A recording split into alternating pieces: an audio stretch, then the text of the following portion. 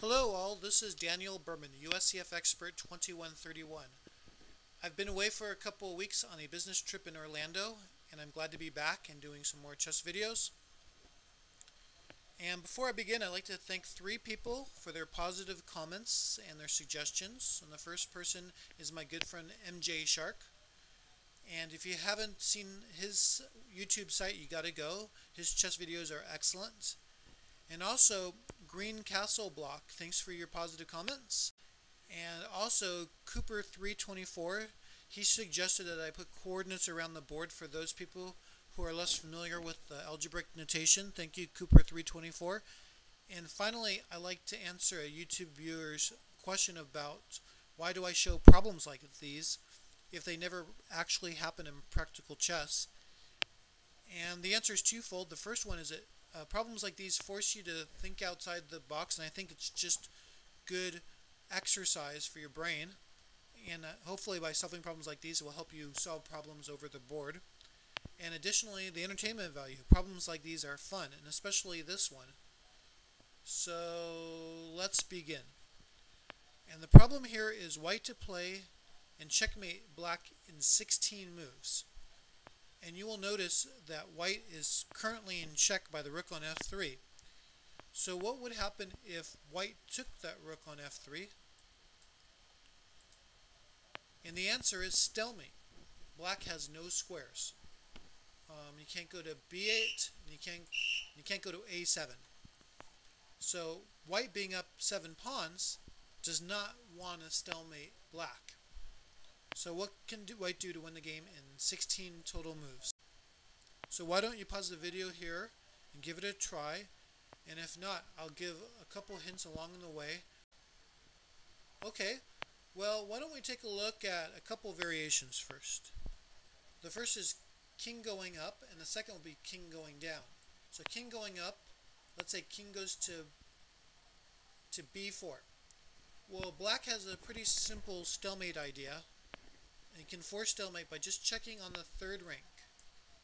No matter where white goes, black will check on the third rank, except if he goes to c8, where this forces the stalemate. No matter how white captures, it's stalemate.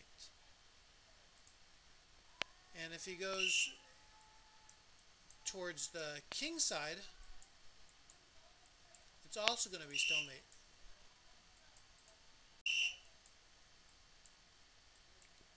No, nothing you can do to get out of these checks. You can try it. So that's going king up to b4. But what happens if he goes king down to a2? Well, this is a quicker stalemate.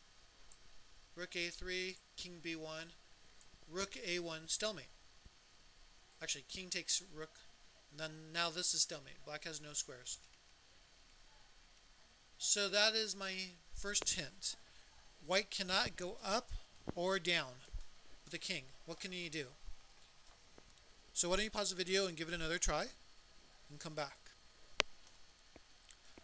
Okay, well I hope you figured out that you can't move your king. You'll actually have to make a pawn move or moves. So what happens if he makes a pawn move like c3? Well, let's take a look. White actually opened up the c2 square for his king. So he has a new square to move to.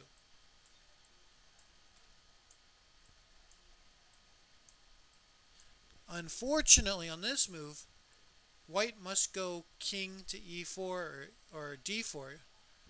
So black gets a famous third rank stalemate idea. So it turns out moving one pawn is not enough. And the answer is white must make two pawn moves to give himself lift or squares for his king to run to.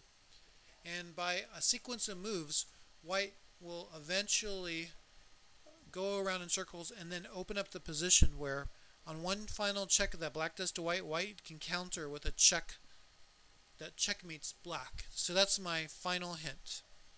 So why don't you pause the video and try it from here. Okay, well I hope you uh, solved this problem and and let's just continue on to the very end. And this is the first pawn move that white needs to make. This is the second pawn move. And now white has the square c2 and e2 to run to.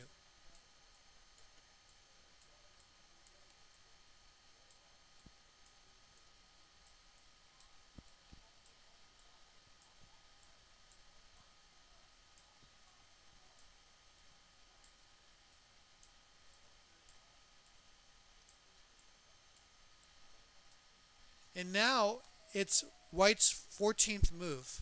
And in two moves, he will checkmate black. So you can pause it right here, or you can just watch.